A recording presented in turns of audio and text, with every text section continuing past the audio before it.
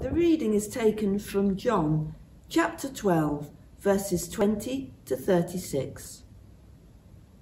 Now there were some Greeks among those who went up to worship at the feast.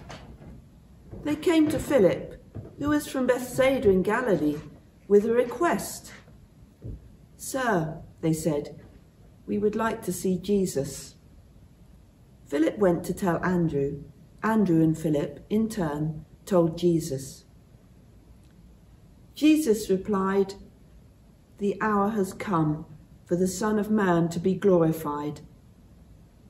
I tell you the truth, unless a grain of wheat falls to the ground and dies, it remains only a single seed. But if it dies, it produces many seeds.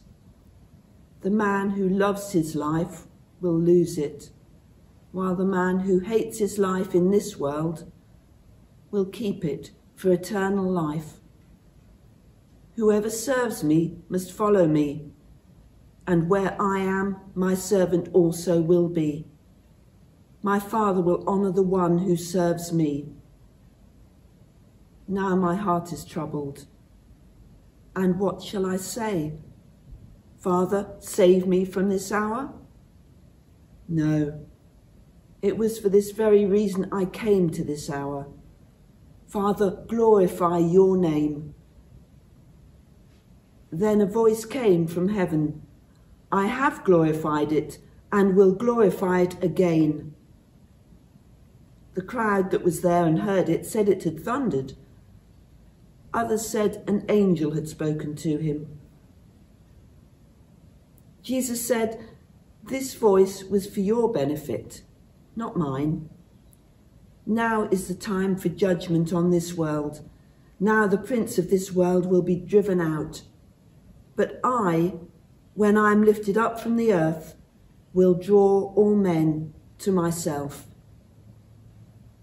He said this to show the kind of death he was going to die. The crowd spoke up.